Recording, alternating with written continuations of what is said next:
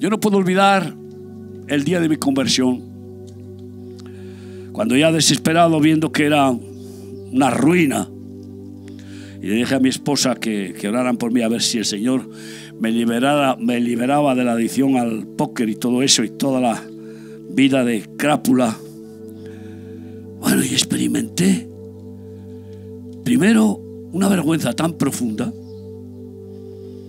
pues me vi en el infierno merecido y comencé a gritar, a llorar, a pedir perdón a Dios, horrorizado de mí mismo.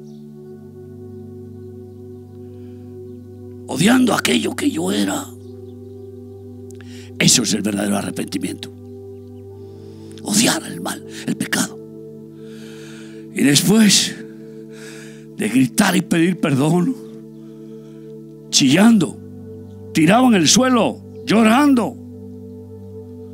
No sé cuánta gente habría, 40, 50 personas, no me importó. Yo tenía mi experiencia directa con Dios. El Señor me dijo, casi lo pude oír. Estoy enamorado de ti. Madre mía.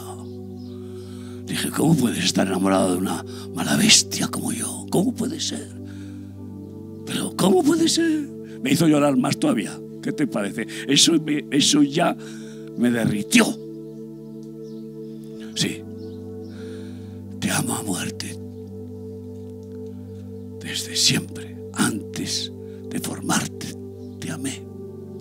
Y por eso te creé.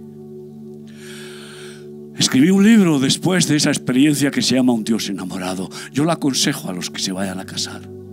Es más, me gustaría regalárselo a las parejas que se casen.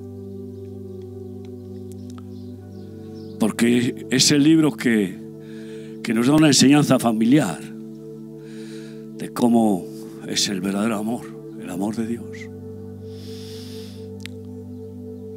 después de esta experiencia, el perdón de Dios vino sobre mí.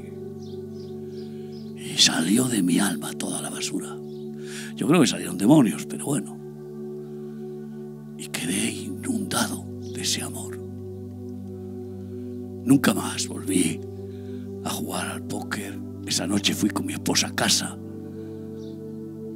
Nunca más volví a ser aquel crápula. Aquel hombre murió y experimenté la alegría del perdón total de Dios. Tú sabes que toda tu factura esté pagada, completamente pagada, y sobre todo cuando tienes una lista enorme, que mucho le ha sido perdonado, mucho ama.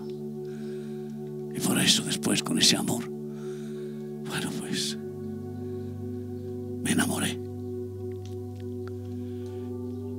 Y así empezó este ministerio hace 41 años. O bueno, este año es el 40 aniversario, pero en realidad empezó hace 41 con mi conversión.